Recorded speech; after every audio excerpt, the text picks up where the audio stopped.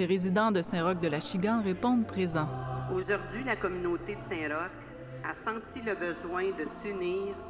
Cette messe de solidarité a été organisée rapidement pour aider la communauté tissée serrée à traverser cette épreuve.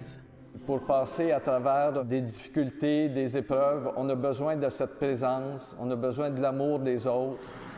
Au bout de la rue principale, les véhicules de la Sûreté du Québec nous rappellent que tout n'est pas encore élucidé au sujet de la déflagration de jeudi.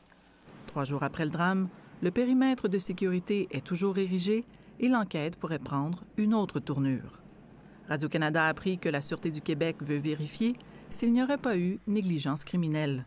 Des travaux étaient en cours lorsque l'explosion est survenue chez Propane La Fortune et la police soupçonne des omissions.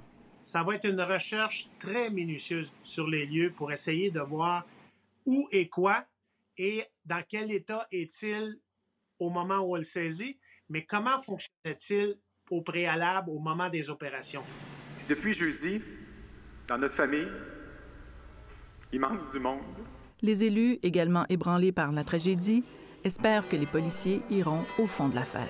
On laisse vraiment la, la, Sûreté du Québec procéder à ses fouilles et ses recherches. Vous comprendrez que la scène est, est, relativement complexe. Prenons le temps de faire les vérifications nécessaires. Je pense que c'est important. C'est important pour tout le monde.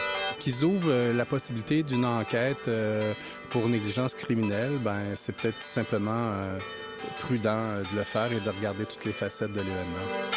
Les responsables de l'entreprise n'ont pas voulu commenter, expliquant que la journée était dédiée aux proches des deux employés et du sous-traitant qui manque toujours à l'appel.